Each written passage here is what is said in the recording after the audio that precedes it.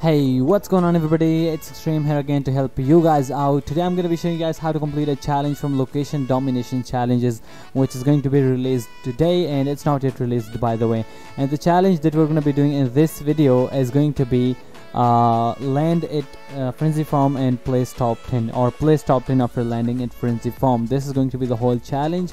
So what you need to do is just go ahead and first land over here at Frenzy Farm my game just just a little bit laggy. I'm so sorry for that. Okay so we're landing at Frenzy Farm right now and uh, I'll show you guys how to complete this challenge.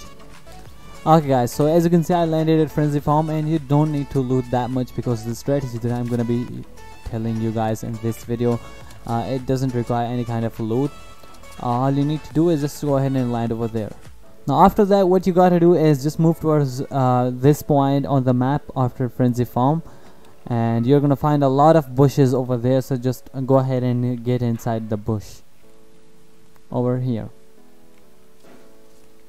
So just sit in here and wait for the players to uh, drop down the player count and it's 58 right now so we need to wait at least for uh, the top 10s uh, so after like when when the circle is not in your favor as you can see uh, in my case then you need to move towards the circle and you're gonna find yourself a lot of bushes in this area. So just go ahead and hide in those bushes and you'll be good to go. You'll you just need to survive till top 10s and your challenge will be done. That's it for this video. If this video is helpful make sure to drop a subscribe and a like on this video. That would be really helpful. See you guys next time. Have a great day and goodbye